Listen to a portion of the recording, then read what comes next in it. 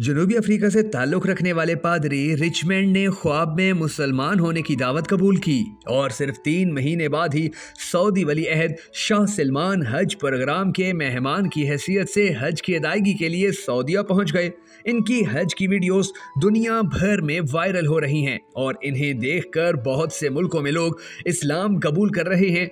कुछ ही दिन पहले दुनिया भर से लाखों आजमीन अपने ज़िंदगी के सबसे बड़े ख्वाब को पूरा करने के लिए सऊदी अरब में मौजूद थे, जो अपने रब की बारगाह में अपने गुनाहों की तौबा करते हुए इस्लाम के पाँच बुनियादी अरकान में से एक, यानी हज बैतुल्ला की अदायगी में मसरूफ थे।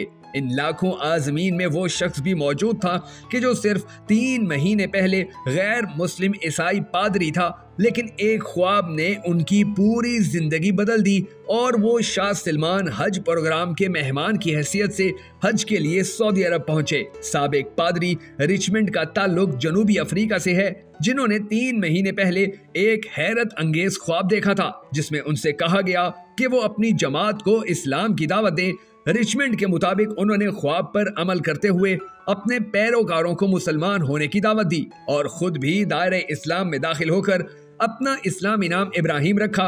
हरमैन के ट्विटर अकाउंट में उनकी एक वीडियो भी पोस्ट की गई। जिसमें इब्राहिम सबक पादरे रिचमंड को मक्का मुकरमा पहुंचकर हज की पहली रसूमात अदा करते हुए दिखाया गया था। आजमीन हज के अरकान पूरे करते हुए मजदल्फा की जानब रवाना होना शुरू हुए।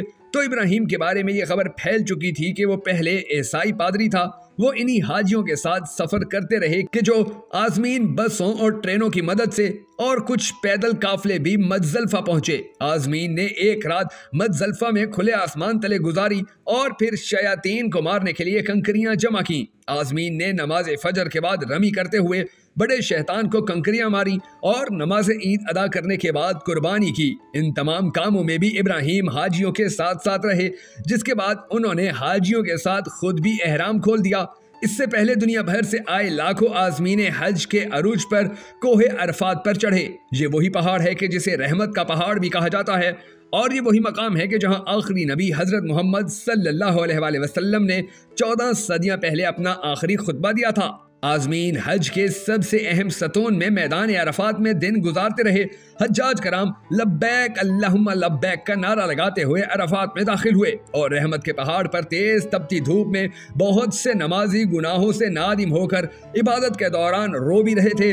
हज के दिनों में यहाँ का दर्जा हरारत 46 डिग्री सेंटीग्रेड, यानी 113 फॉरन हाइट तक पहुँच गया था, जिसके बाद आजमीन ने छतरियों के साय में मक्का मुकरमा से मना का सफ़र किया था।